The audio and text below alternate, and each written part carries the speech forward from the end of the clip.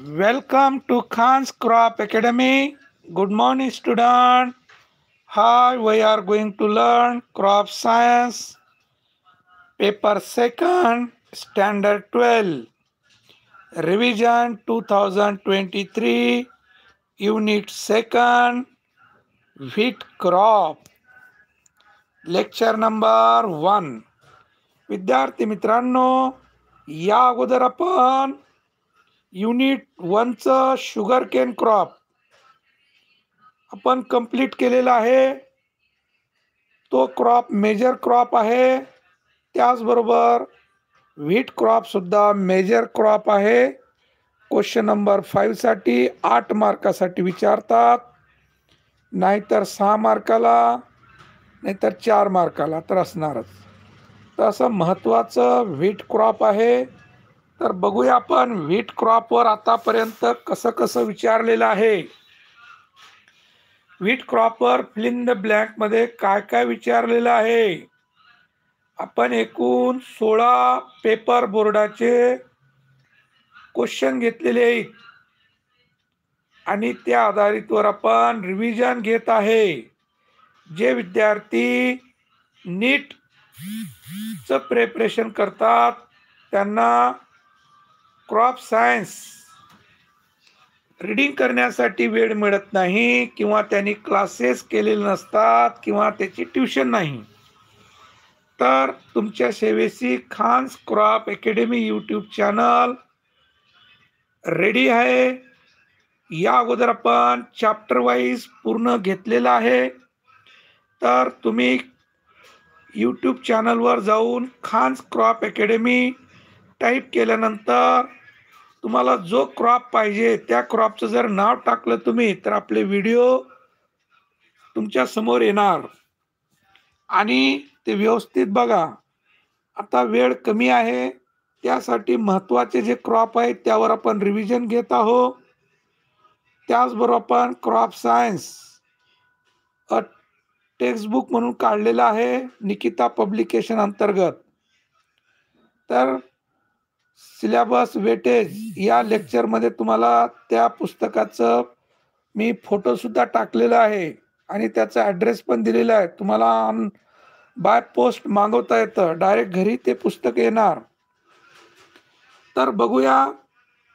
Fill the blank temperature range required for the normal growth of wheat crop is dash two dash degree Celsius गहू पिकाच्या वाढीसाठी तापमानाची आवश्यकता किती आहे? Seven to twenty one degree आहे. Next optimum seed rate of Mexican wheat crop is dash K G per hectare. इथं Mexican व्हेरायटीचं बियाचं प्रमाण विचारलं तर eighty eight K G per hectare आहे. Next wheat research station in Maharashtra is located at. आपल्या महाराष्ट्र राज्यामध्ये गहू संशोधन केंद्र कुठं आहे? अँसर निफाड. सातारा जिल्ह्यामध्ये निफाड येथे आहे. Next temperature range for the normal growth of wheat crop is dash to dash degree Celsius तर मार्च दोन हजार एकमध्ये आणखीन विचारलं होतं. की गहू पिकाला ऑप्टिमम टेम्परेचर किती पाहिजे? Seven to twenty one degree Celsius विसरायचं नाही बाळांनो. Next temperature range for the normal growth of wheat crop is dash to dash degree Celsius March two thousand वनमध्ये विचारलं आहे answer seven to twenty one next sowing of dwarf variety in wheat should be done at the depth of dash to dash centimeter गहू पीक असं आहे की त्याचं खोलीसुद्धा महत्त्वाची आपण पेरते वेळेस किती खोल पेरायला पाहिजे?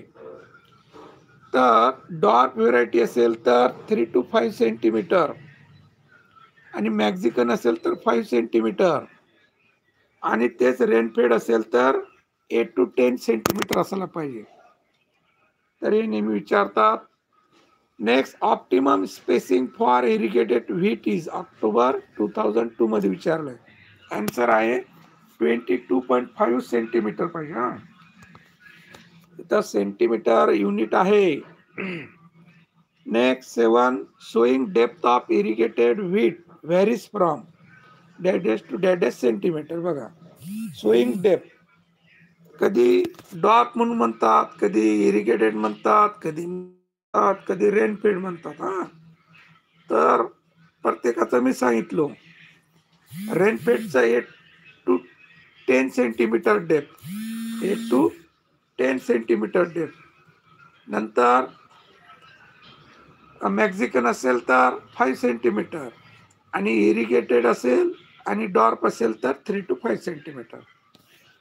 Mexican varieties of wheat cannot be sown more than dash centimeter deep बघा तेच विचारलं. March two thousand टेनमध्ये.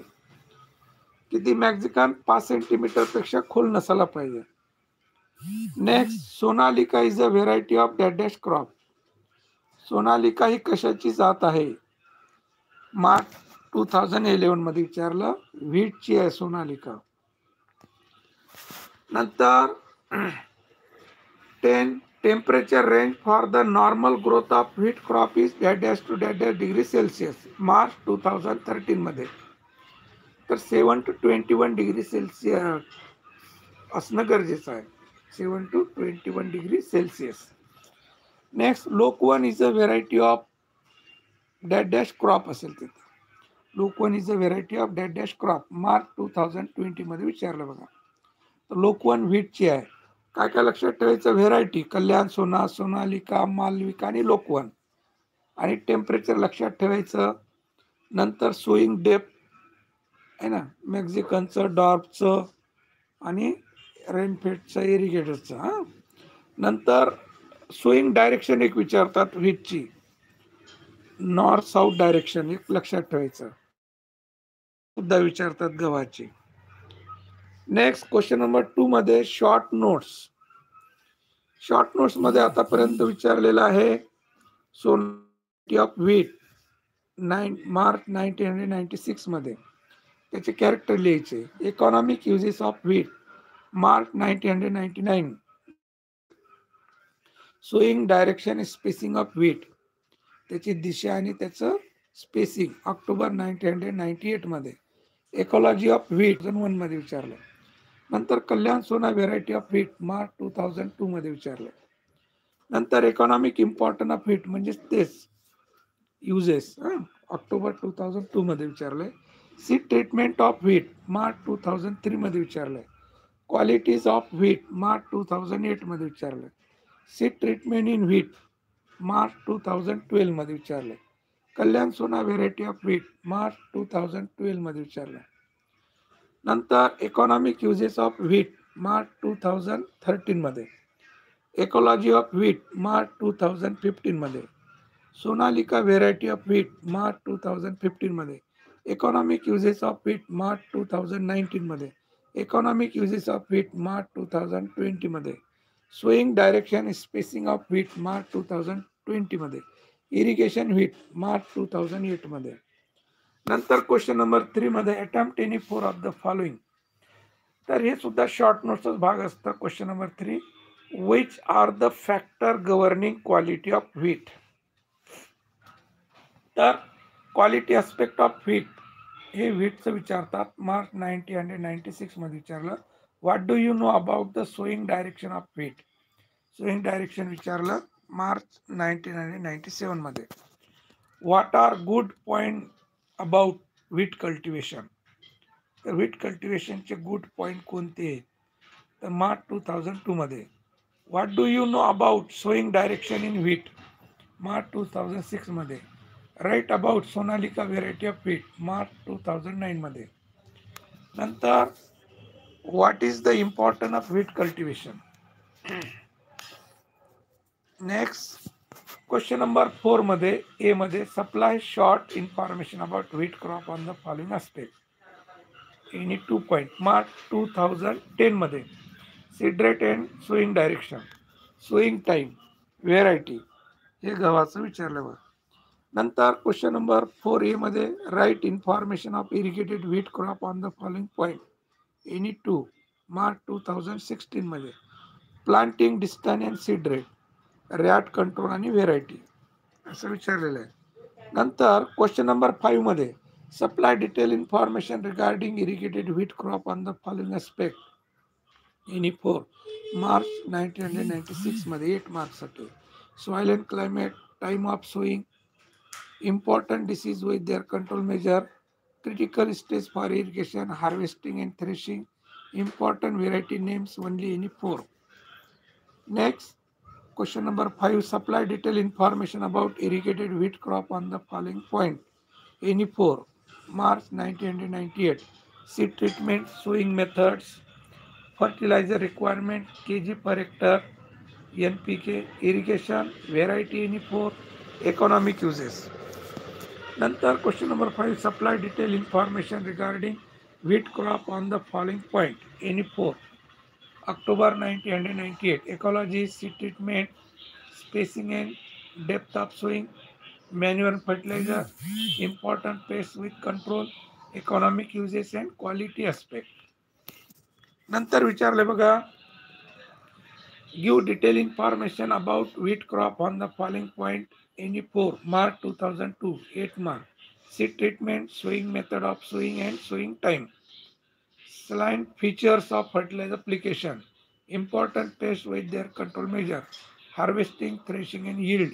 Economic uses and aspect of quality. Nantar give detailed information about wheat crop on the following point. Any pore mark 2007 made seed treatment and seed rate per hectare. Sowing time and sowing direction rat control, harvesting, threshing and yield per hectare, economic uses, quality of grain. Next, supply detailed information regarding irrigated wheat crop on the following aspect. Any 4 March 2011. Soil and climate, seed treatment, manures and fertilizer, irrigation, diseases with control measure, harvesting and threshing. Next, supply detailed information regarding irrigated wheat crop on following aspect any four March two thousand फोर्टीनमध्ये ecology seed treatment spacing and depth of sowing manures and fertilizer important pest with control economic uses and quality aspect तर बघूया आपण इथं short summary wheat family Gramineae आहे. Botanical name Triticum aestivum origin आहे Hindu Kush mountains Abyssinia. Climate. It is a temperate crop. It requires cool, dry climate. It requires clear weather. It requires optimum temperature 7 to 21 degrees Celsius. Rainfall is about 750 to 1600 millimeter under rainfed cultivation. It requires hot and humid climate. It requires mild climate climatic condition very low temperature cloudy weather and frost harmful to plant growth at a grain filling stage तर या पद्धतीनं climate लिहिणं गरजेचं आहे. कधीकधी दोन मार्काला direct climate विचारतात. आणि जेव्हा एकॉलॉजी म्हटलं तर क्लायमेट आणि सॉईल हे दोन्ही पॉईंट लिहायला पाहिजे. Soil wheat crop grown wide range of soil it require desert to heavy clay soil irrigated wheat require well drain fertile clay loam soil rainfed wheat require heavy soil more water log water holding capacity soil Maharashtra state black soils are most suitable for its cultivation तर हे soil land preparation त्याला pre tillage म्हणतात त्यालाच preparatory tillage म्हणतात म्हणजे पूर्व मशागत. Wheat crop require well pulverized and compact seed bed. It requires free from clotted, then two to three times crosswise, one crosswise plowing and three to four times crosswise harrowing. Apply 25 to 30 tons of FYM per hectare and then one pre-soaking irrigation should be given. नंतर seed rate K G per hectare Seed rate varies from 44 to 132 kg per hectare. Then Mexican variety 88 kg per hectare. हे विचारलं होतं fill in the ब्लँकमध्ये आहे ना sowing method broadcasting drilling in drilling 3 to 5 centimeter depth. Rain fed 8 to 10 centimeter depth. Then sowing should be done north-south direction. नंतर spacing. Rain fed wheat 30 centimeter row to row distance. Irrigated wheat 22.5 centimeter row to row distance. नंतर sowing time. Rain fed wheat earlier sowing that is 15th October to 13th October. Irrigated wheat first November to fifteen November हे sowing time झाला manual fertiliser apply twenty five to thirty tons of F Y M per hectare before last harrowing पूर्व मशागत करत असताना पंचवीस ते तीस ton शेणखत टाकायचं.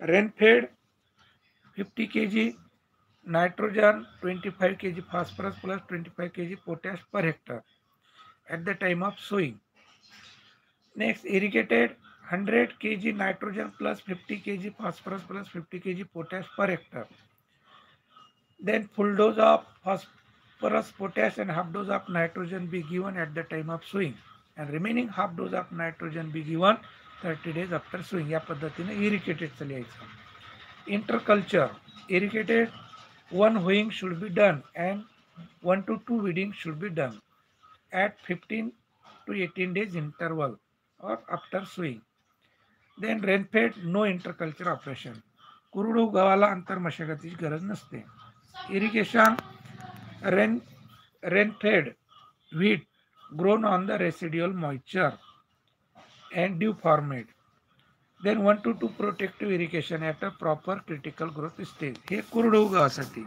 irrigated wheat five to six irrigation at twelve to fifteen days interval at a critical growth stage. That is a crown root initiation, late tillering stage, then earing stage, flowering stage, milking stage. These are the critical growth stage. तर ओलिताच्या गव्हासाठी आपण पाच ते सहा पाण्याच्या पाळ्या देणं गरजेचं आहे. बारा ते पंधरा दिवसाच्या अंतराने ते जमिनीवर अवलंबून असते. तर पाण्याच्या पाळ्या व्यवस्थित क्रिटिकल ग्रोथ स्टेजमध्ये देणं आवश्यक असते. जसं क्रॉन रूट इनिशियन स्टेज हे फार critical growth stage crown root initiation म्हणजे मुकुटमुळे. तर त्यामध्ये ओलावा असणं गरजेचं आहे. नंतर लेट टिलरिंग फुटवे येतात तेव्हा. नंतर इयरिंग ज्याला आपण पोटऱ्यामध्ये आलं म्हणतो. नंतर फ्लावरिंग आणि मिल्किंग स्टेज. ह्या स्टेज क्रिटिकल ग्रोथ स्टेज आहे. त्या स्टेजमध्ये पाणी देणं गरजेचं आहे. नंतर व्हेरायटीज. लोकल व्हेरायटी आहे. Moti Gulab Jay Vijay Niphad four Bansi Sharbati. Rain rainfed variety N fifty nine M S C S nine M S C S nineteen hundred sixty seven Hira Moti Ajanta नंतर irrigated variety आहे. कल्याण सोना सोनालिका मालविका लोकवन पूर्णा. ह्या variety लक्षात ठेवायला पाहिजे. चार तर लक्षात ठेवायचे. Duration ninety to one hundred twenty days after sowing हे ड्युरेशन आपण लक्षात ठेवलं तर हार्वेस्टिंगमध्ये सर्वात अगोदर ड्युरेशन लिहिणं गरजेचं आहे. हार्वेस्टिंग म्हणजे काढणी rainfed earlier harvesting than the irrigated wheat तर कोरडवू गहू ओलिताच्या गव्हापेक्षा लवकर काढायला येतं. नंतर wheat crop ready for harvesting ninety to one hundred twenty days after sowing then maturity sign indicate grains hard structure straw dry then wheat plant cut down at a ground level, tied with bundle and dried up, dried into field up to two to three days. Then threshing with power thresher machine. तर या पद्धतीनं harvesting करायला पाहिजे. Yield local variety रेनफेटचं three to five quintal इरिगेटचं ten to twelve quintal improve variety रेनफेटचं fifteen to twenty quintal आणि irrigated thirty five to forty quintal तर टॅबुल इन्फॉर्मेशनमध्ये के जीमध्ये विचारतात. तर के जीमध्ये कन्वर्ट करत असताना क्विंटलचं के जीमध्ये करायचं तर हंड्रेडनं मल्टिप्लाय करायचं. म्हणजे दोन शून्य ठेवायचं त्याच्यावर. लक्षात क्विंटल क्विंटलवर तर ते के जीमध्ये रूपांतर होतं important pest termite cutworm stem borer rats हे इम्पॉर्टंट पेस्ट नंतर seed treatment sun drying seed treatment, organomercurial seed treatment, thyrum treatment at the rate of 3 gram per kg of seed, hot water treatment at 50 to 52 degrees Celsius for 2 hours for control the smut disease. तर या पद्धतीनं seed treatment तर बाळांनो शॉर्टमध्ये आपण hint असं दिलेले आहे. तर डिटेलमध्ये बघायचं असेल तर आपलं मी यूट्यूब चॅनलवर तुम्ही सर्च करणे व्हीट क्रॉप टाकलं की बरोबर आपले व्हिडिओ तुमच्या लिस्टमध्ये येणार आणि ते बघा. तरी शॉर्टमध्ये इम्पॉर्टंट म्हणून दिलं. तर विद्यार्थी मित्रांनो बघत राहा Khan's crop academy YouTube channel आणि कमेंट्स कर. इतरांना जास्तीत जास्त शेअर करा लाईक करा सबस्क्राईब करा. थँक्स जय जवान जय किसान.